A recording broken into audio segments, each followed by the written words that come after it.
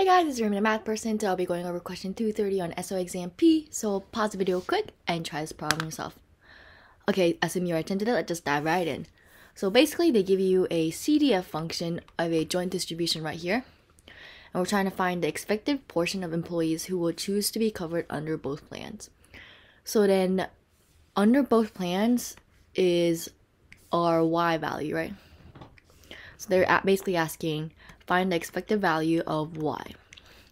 In order to do that, we first need to find our marginal distribution. The CDF of marginal distribution is given right here. So if we're trying to find it from a CDF of a joint distribution, the marginal distribution is CDF of a marginal distribution is this given right here.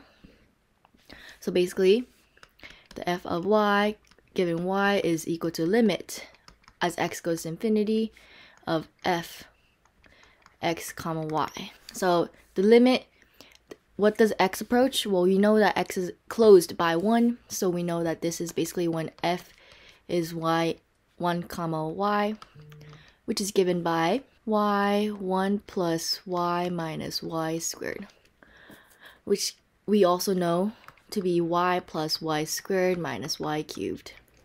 But the thing is, in order to find expectation, we need marginal distribution, not the CDF. The we need the PDF, right?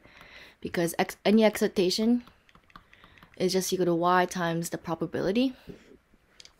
So the probability the of y will be equal to just the derivative of this, right? Is the derivative of y, which is equal to 1 plus 2y minus 3y squared. Alright, so now, in order to find it, the expectation of y, we just have to multiply y in there.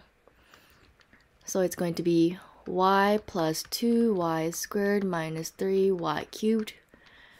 Integrating from our limit for y is 0 to 1, 0 to 1, dx, I mean dy.